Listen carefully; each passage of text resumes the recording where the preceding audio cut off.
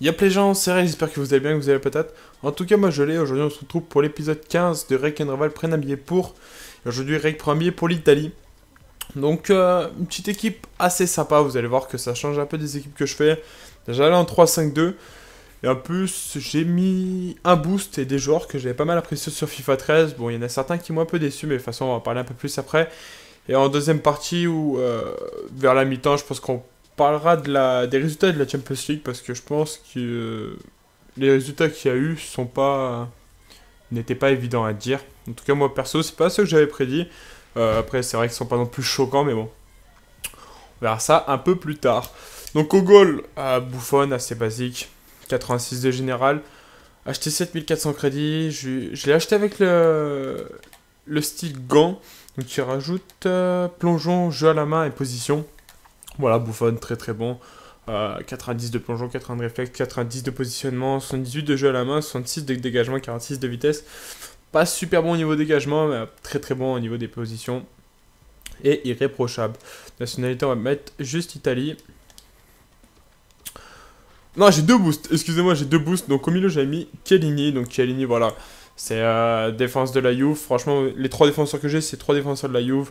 Chiellini, il n'y a vraiment rien à dire. 86 de défense, 82 à tête, 77 de vitesse.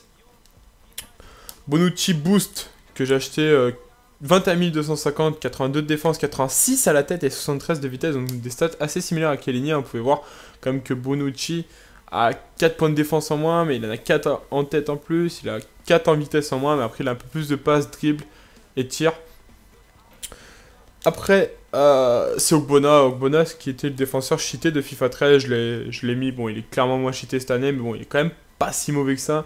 82 de vitesse, 79 de dégagement et 77 de vitesse.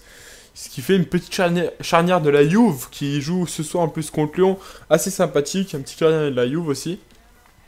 Après, en premier MDC, j'ai mis. Voilà, j'étais obligé de mettre ça. J'ai mis Pirlo. Euh, au début, j'hésitais à le mettre en MOC. Après, j'ai cherché une team en 4-3-3 pour mettre 3 milieux centraux. Mais bon, après, voilà, j'ai pris ça.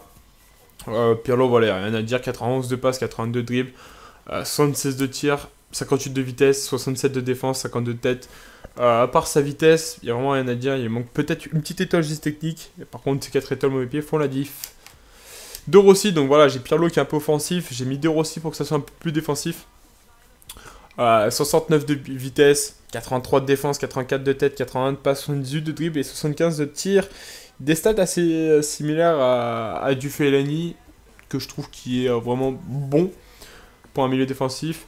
voilà, des stats qui tournent dans un tour de, 75-80 par la vitesse. Lui aussi 4 étoiles mauvais pied pour le prix qui coûte, c'est donné. En MOC, le numéro 10 de la S Roma, voilà, je vous dis juste ça, c'est Totti direct. Donc certes, beaucoup de gens ne vont pas comprendre pourquoi j'ai mis Totti. Mais tout simplement, ce Totti, voilà, c'est 89 de tir, 90 de passe, 86 de dribble. Voilà, certes, 53 de vitesse, 49 de défense, 54 de tête, mais c'est 5 étoiles au pied aussi. Et c'est pour 115 000 crédits. Euh, si franchement une player review ça vous intéresse, dites-le dans les commentaires. Moi aussi ça m'intéresse. Après, je vais pas prendre le temps d'en faire une si c'est pas un joueur qui vous intéresse de trop. C'est vrai que par rapport à sa vitesse, il est pas tellement intéressant, mais quand on le teste in-game, c'est vraiment de la folie et c'est vraiment un, passeur très redoutable. Et un frappeur de coup franc et un frappeur tout court qui est vraiment très très bon. En MD, j'ai pas eu trop trop le choix. Il y avait pas mal de, MD italiens qui avaient à peu près les mêmes stats. J'ai juste pris le gaucher. En plus, il a 4 étoiles MVP, 4 étoiles juste technique. Et en plus, il est pas si, euh, si mauvais que ça. Pour 1000 crédits, encore une fois. Euh, MG, un joueur que j'aime beaucoup, que je me demande pourquoi il n'a pas 5 étoiles. J'espère que l'année prochaine il les aura pour 3700 crédits. El Charoui tout simplement, 87 de vitesse, 85 de dribble, 80 de tir, 73 de passe, 50 de défense, 57 de tête. Euh, un joueur très très bon et euh, j'espère que vraiment que l'année prochaine il aura ses 5 étoiles. Ça serait mérité par rapport à la saison qu'il fait qui fait tout le temps. T'as le droit d'arrêter de bugger. en BU, tout simplement Di Natale, un joueur que j'avais kiffé l'année dernière, et que je kiffe toujours autant, très très bon. Un très très bon finisseur, et voilà, des stats offensifs à 80 minimum, 80 de passe, 86 de vitesse, 86 de tir, 87 de dribble, 4 étoiles MOP, 4 étoiles juste technique, surtout pour 6800 crédits, c'est donné pour un joueur de 85 de général. Et ensuite Balotellier, j'avais kiffé sur FIFA 13, euh, il m'a un peu déçu, de toute façon je reviendrai un peu plus tard. 4 étoiles MOP, 3 étoiles juste technique, acheté 9000 crédits, des stats 84 de vitesse, 85 de dribble, 82 de tir, une très très grosse frappe. Après voilà, 67 de passe, 75 de tête, 48 de défense. Donc une petite team aux alentours des 200 000 qui fait assez plaisir. voilà, voilà. Ensuite, bon, on va lancer une petite compétition en ligne.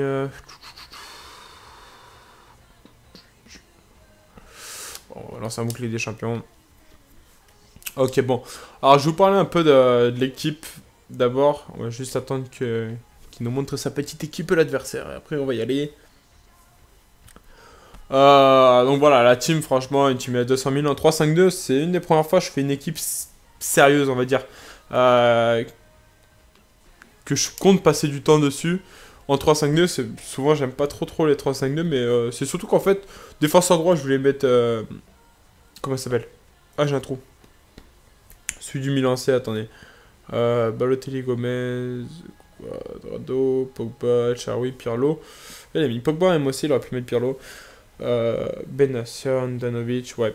Bon, une bonne équipe de Serie c'est cool, on va faire Serie contre Serie euh, je suis en train de... Abatté, voilà. Mon défenseur droit, c'était Abatté. Après, défenseur gauche, c'est vrai qu'il y avait Crichito à 80 de vitesse. Mais j'aime pas trop ses stats. Après, je me suis c'est vrai que la charnière de la Juve a l'air sympa cette année. Pourquoi pas la tenter? Et c'est vrai que ça a bien tenu. Euh, surtout que je voulais mettre euh, les 3 milieux de terrain que j'ai en ce moment. Donc, pour l'instant, ça, roule pas mal. C'est vrai que niveau passe, en plus, ça s'enchaîne pas mal. Attendez, Balotelli direct. Ah, dommage. J'aurais peut-être dû attendre. Ah, dommage. voilà, bonne équipe. Bon, le goal, il n'y a rien à dire. C'est Buffon, euh, connu, reconnu, reconnu comme étant un bon gardien. Euh, niveau défenseur central, voilà, euh, c'est la défense de la Juve. C'est la défense qu'en Serie A, on retrouve tout le temps les mêmes joueurs, de toute façon. après, voilà, c'est peut-être qui a un peu baissé pour, l'année dernière. Bonucci, franchement, j'ai beaucoup aimé. Pour le prix qu'il coûte, pour un, boost en plus 20 000, c'est donné. J'aurais dû lober par contre. J'aurais dû lober. pour l'instant, on a un peu l'avantage. On va tenter une petite frappe avec De Rossi. Elle est pas mal. Dommage. Alors, 6 minutes, les gars. On lui a fait 3 frappes. il a trop la pression. Hop, petit dribble. Oh, c'est passé. On revient en arrière. Ronaldo shop. Ah, dommage. C'était trop. Ensuite, bon, voilà, milieu défensif. Pirlo. Pirlo n'est pas trop à sa place. Mais, euh, mais voilà, il y a deux Rossi à côté pour la défense. Pirlo fait un peu, euh, peu l'attaque quand Totti revient ou quand Totti euh, fait une petite passe, il y a souvent Pirlo. surtout, j'ai un, deuxième frappeur de coup franc. Ce qui est sympa. voilà. Pirlo, franchement, c'est, il est à caser. C'est un peu comme si, si on mettait pas Ronaldinho dans une brésilienne. C'est vrai que Ronaldinho est dur à caser, mais il faut le caser aussi. Il y a des joueurs comme ça, Steve Gerrard, c'est des stars, il faut les mettre. Par contre, je vais peut-être pas tirer. Juste voilà, je vous montre la stat de, de Totti. Voilà, il n'y a, rien à dire. Totti, Balotelli. Il n'y a vraiment rien à dire comme stat. J'ai pas Pirlo sous la main. Je vais essayer de descendre. Euh, Pirlo, voilà, des stats un peu moins bonnes, mais, euh, des bonnes stats aussi. je dirais que Cersei, hein. c'est le seul gaucher que j'ai. Oh, stoppé direct. Allez, De Rossi, il a une bonne... Ah, il a une bonne frappe en plus de Rossi. Oh, c'est le Charoui, il est parti. Ah, ça va être le but, je pense qu'à mon avis. Ah, il est parti un peu trop à gauche. on a réussi à revenir avec Bonucci, c'est bien. Euh, voilà, après, voilà. De Rossi, euh, de Rossi un peu plus défensif, Pirlo un peu plus offensif, ce qui fait un bon complément. Après, Totti boost, euh, voilà, il fallait le mettre aussi. J'ai appris que Totti, quand, quand, il partira à la retraite, l'AS Roma ne donnera plus le numéro 10. Donc, je sais pas si c'est si c'est une rumeur ou si c'est vrai, mais c'est ce que j'avais lu. Euh, qui donnerait plus le numéro 10 pour garder, euh, pour garder un peu la légende Totti, comme, comme si pour nous on donnait plus le numéro 10 en équipe de France, c'est Yabut Del Charoui. El Faraone euh, Voilà, après, je sais pas trop si c'est une rumeur, on verra bien quand il partira, mais c'est ce que j'avais lu. Après, bon, milieu droit, j'ai Cersei qui est pas mauvais du tout, franchement, j'avais vu ses stats au début, je m'étais dit, bon, pas l'air génial, génial, et au final, il, dribble vachement vite, et il est vachement rapide, vachement agile, et et franchement, j'ai beaucoup aimé. Milieu gauche, euh, El Sharawi, il faut le caser. Euh, c'est un joueur qui est très très bon et que j'aime beaucoup dans la vraie vie. Donc, euh, oh, bien joué, Bouffon. J'aime beaucoup dans la vraie vie, donc j'ai voulu le caser dans cette équipe. Après, voilà. mon attaque d'Inatale, franchement, moi j'ai kiffé l'année dernière. Je kiffe toujours autant cette année. J'ai pris un but à con. Balotelli, par contre, je, trouvais qu'il était beaucoup plus puissant la dernière.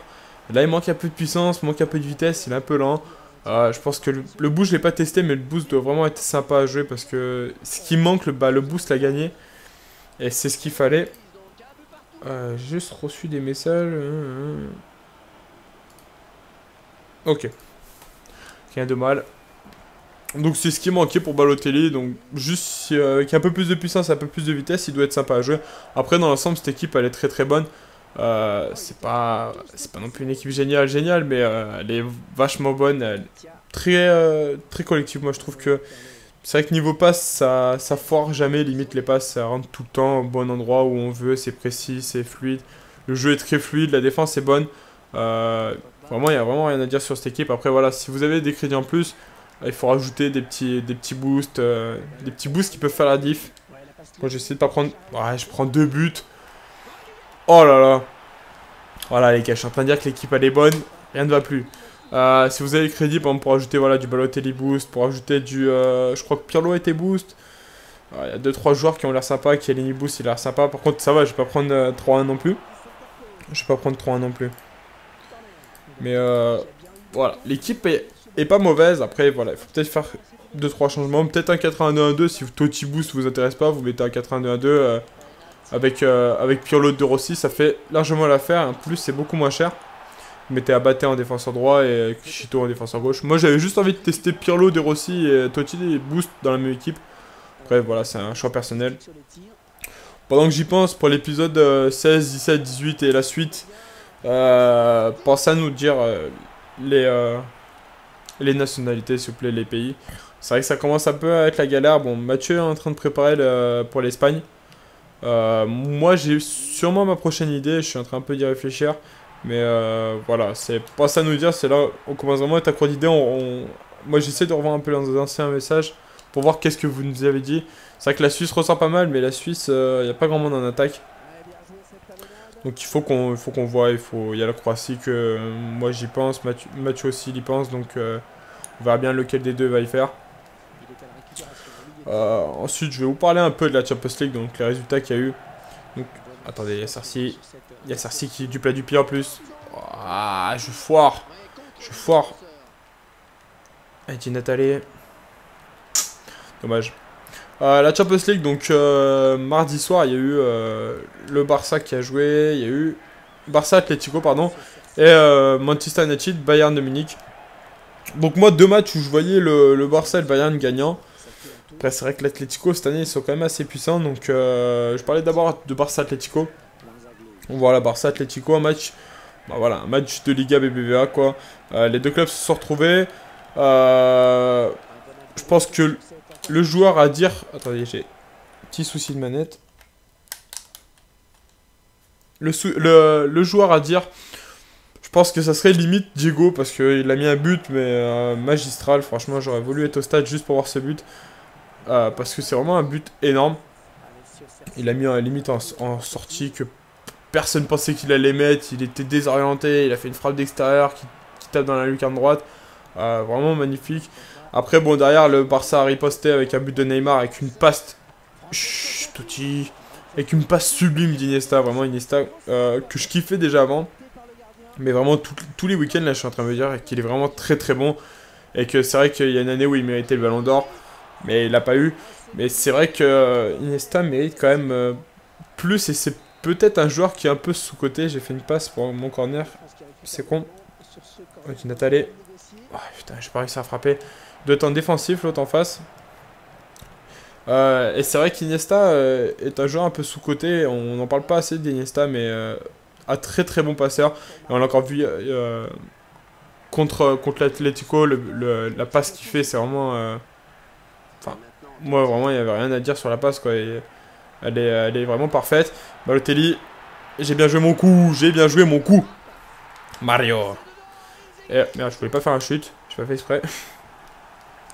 Euh, voilà, c'est vrai qu'Iniesta, il fait des super passes. En Ligue comme en Champions League, il a encore fait des passes. Euh, il a été boost il n'y a pas longtemps pour ses passes. C'est vrai que c'est un joueur qui m'impressionne. Je pense qu'au retour, quand même, le Barça passera. le, le Barça. Le Barça passera. Après, voilà, on peut avoir des surprises. C'est l'Atletico. L'Atletico peut se réveiller euh, comme ça. C'est vrai qu'ils peuvent, ils ont des très bons joueurs. Ils ont Diego Costa, ils ont toujours eu un, buteur phare. C'est vrai qu'ils ont eu Torres, il y eu Agoro, Agoro est parti, ils ont eu Torres, Torres est parti, ils ont eu euh, Falcao, Falcao est parti, ils ont eu Diego Costa. Euh, voilà, c'est vrai qu'ils peuvent, ils ont toujours eu des, très bons joueurs et ils ont toujours bien préparé leur, suite d'équipe. Après moi, ils m'impressionnent, ils sont premiers au BBVA devant le Real et le Barça. C'est pas pour rien qu'ils sont là, je pense. Après voilà, je pense quand même que le Barça a plus d'expérience et... et je pense qu'il irait plus loin que l'Atlético. Ensuite, Manchester United contre le Bayern de Munich. Euh, un Bayern assez, euh, assez fermé et assez frustré, frustré de, ce, de ce score. pardon. C'est vrai que 1-1, bon, Manchester United n'est pas non plus en forme. Euh, mais bon, ils ont réussi quand même à faire leur match. un but de Vidic, franchement, que j'ai trouvé vraiment très très joli. un corner frappé par, par je sais plus qui, je sais plus si ah, je prends des buts, mais c'est des buts pas permis, quoi. Euh, un corner frappé, Vidic met une tête un peu, un peu renversée comme ça de l'arrière.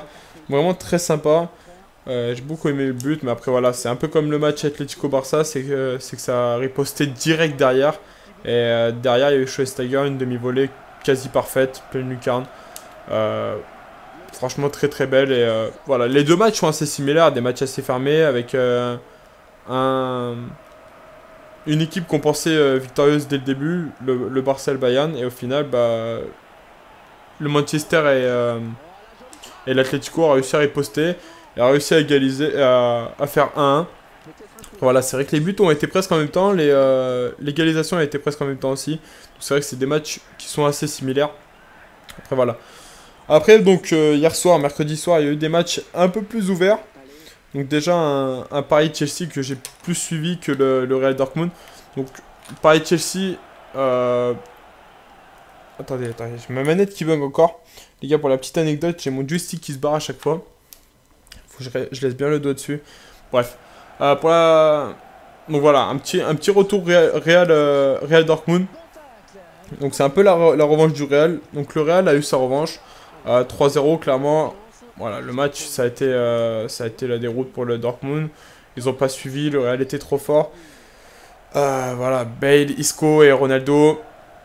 Euh, le but de Bale est assez sympa, mais bon, c'est pas non plus la folie. Le but d'Isco, perso, j'ai pas mal aimé. Il était, il était pas mal à l'entrée de surface. Il avait fait direct la frappe qui était assez sympa. Et Ronaldo, le double, petit, le double contact qui passe devant le, le goal assez crème. Voilà, après, bon, je pense que le Dortmund euh, a fait limite sa fin, mais bon, l'année dernière, ils ont surpris avec un Lewandowski. Pourquoi pas cette année? Mais bon, je pense que déjà, la... que Godze soit parti, je pense que déjà, ils ont beaucoup perdu. Et bon, Godze est parti, mais ben, il est arrivé, quoi. Donc, euh, encore, si Godze serait parti, bon, le Real, il y aurait eu un autre genre phare qui serait parti. Mais bon, ils ont perdu Ozil, Di Maria monte et euh, ils ont gagné Bale. Donc, bon, je pense que c'est plus que dedans-dedans. Ensuite, le match, euh, le match avec la seule équipe française euh, en liste pour la Champions League. Euh, Paris-Chelsea. J'ai fait prendre un but. Paris-Chelsea, donc voilà, un match assez ouvert pour Paris. But direct. Au passage, j'ai eu but de Bale à la troisième minute, je crois. Non, but de Lewandowski à la troisième minute. De Lewandowski, pardon. But de Ezekiel dit à la troisième minute. Et but de Gareth Bale à la quatrième minute. Donc un match assez similaire. Moi, je regardais un peu les, euh, les deux, je switchais un peu entre les deux. Et c'est vrai que, euh, bon, quatrième minute, il y avait déjà un 0. Je me suis dit, ah, ça va faire comme, euh, comme hier, un 0 et un à la fois, en même temps. Après voilà, ça, il y a eu un peu plus de... Donc déjà le Real a pas pris son but. Et pareil, bon, Thiago Silva qui fait une faute dans la surface. après, je crois que c'est à 25e ou 26e minute. Hazard directement penalty. Il trompe il met direct un contre-pied à, à donc 1-1. Après un match assez fermé euh, qui s'est rouvert ensuite avec un but de... Euh, je sais plus qui a marqué le, deuxième. Je sais que le troisième c'était Pastore. Je crois que le deuxième ça a été euh, Cavani, si je dis pas de conneries. J'ai regardé avec mon portable. je crois que c'était Cavani le deuxième. Dites-moi dans les commentaires si je fais une petite erreur. Et après voilà, le troisième Pastore, Pastore qui se balade. Euh, qui se balade carrément côté droit. Euh, côté gauche, pardon, de la surface, mais côté droit par rapport à la télé, excusez-moi. voilà, il, s'est baladé tranquillement, il a dribblé les 4 joueurs, il a marqué. Franchement, ça m'a un peu étonné que c'est pas Story qui fasse ça. C'est vrai que. Juste Lucas, juste avant, enfin juste avant, pendant le match, il avait fait un, un joli truc. C'est vrai qu'il avait dribblé 4-5 joueurs, je crois. Et au final, il a fait un gros pont sur David Luiz que je pense que David Luiz n'a pas dû aimer, surtout que les deux sont brésiliens, donc euh, ça a dû un peu chambrer. Mais euh, voilà, c'est vrai que c'est un match mérité pour Paris. Par contre, je voyais pas, je voyais pas une victoire pour Paris. Je prends, je prends encore un but. Voilà, je, prends encore un but et j'arrive pas à jouer. C'est un match mérité pour Paris. Après, moi, je les vois pas. Euh, je sais pas. Pour moi, Paris, je les vois pas gagner. Après, c'est sûr que bon, Chelsea a pas montré une, une belle gueule en faisant un 3-1. Après, il faut pas oublier que Chelsea en 2010 a perdu 3-1 contre Naples et a réussi à revenir à 4-1 au match retour, ce qui a permis d'être qualifié. Après, faut voir, faut voir au match retour, on verra bien. Euh... Poteau quoi. Poteau quoi. Sérieux quoi. Euh, après, on verra bien, on verra bien au match retour. Moi perso, j'avais dit au début que je verrais bien Barça, Bayern, euh, Real et, euh, et Chelsea passer. Après, ça peut peut-être changer, mais euh, je reste quand même sur ma, sur ma voie comme ça. 4-3, bon, son goal fait un peu le con. 4-3, bon les gars, on peut revenir quand même. Alors, on va un peu se concentrer sur le match. Dites-moi dans les commentaires qu'est-ce que vous pensez de la Champions League. si pour vous c'est des surprises ou non. Pour moi, la surprise, elle a été un peu sur tous les matchs sauf le Real. Après voilà, Barça Atlético, pardon, c'est pas non plus une très grosse surprise. Euh, c'est un match euh, qu'on attendait quand même assez fermé. 1-1, euh, c'est pas non plus. Pour l'instant, c'est l'Atlético qui se qualifie. Après, c'est pas non plus le, match de l'année. c'est un match pour moi plus de BBVA que de Champions League qui a été, en, tout cas pour le pour. Pour moi, l'aller a été plus un match limite retour de retour en Liga BBVA qu'un match de Champions League. Il n'y avait pas les mêmes enjeux. Moi j'ai toujours dit les matchs de Champions League se jouent deuxième période du match retour. C'est vrai qu'on voit vraiment là les équipes qui se lâchent, qui, euh, qui vraiment envoient tout ce qu'ils peuvent pour être qualifiés. Euh, on peut dire à la limite Manchester United contre l'Olympiakos, 2-0 euh, à l'aller, revenir à 3-0, c'est pas. C'est qu'il y a eu un truc entre, et c'est pas l'entraînement, c'est pas l'entraîneur, c'est pas ça qui a fait, c'est que les gens, les, les gens, les joueurs ont donné tout ce qu'ils pouvaient pour être qualifiés. Et voilà, un but, t'en mets un deuxième, après tu te dis pourquoi pas le troisième, et après tu mets le troisième, pourquoi pas quatre, et ainsi de suite. Voilà, bon, Manchester s'arrêtait à 3, mais ils auraient pu limite en mettre 4 s'ils pouvaient en plus. Euh, c'est comme ça que marche le foot, et c'est surtout comme ça que marche la Champions League. C'est vrai qu'il peut y avoir des très grosses surprises en, Champions League. Il peut avoir Ça peut carrément changer. Il peut y avoir une victoire 3-0, match retour, il peut y avoir 4-0. Personne, ça m'étonnerait même pas. C'est pour ça que je dis pour l'instant, personne n'est qualifié.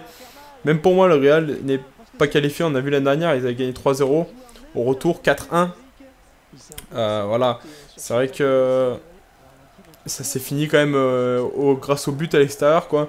Donc c'est vrai qu'ils ont eu chaud. On peut voir quand même que Dortmund contre Saint-Pétersbourg, tout le monde disait bon, c'est bon, Dortmund sont qualifiés. Au final, Saint-Pétersbourg a réussi quand même à, tirer une belle gueule. Et euh, voilà, le foot c'est comme ça, et c'est surtout la Champions League qui est comme ça, et c'est comme beaucoup de coupes, en Coupe de France, en Coupe de la Ligue, on retrouve à peu près des choses assez similaires.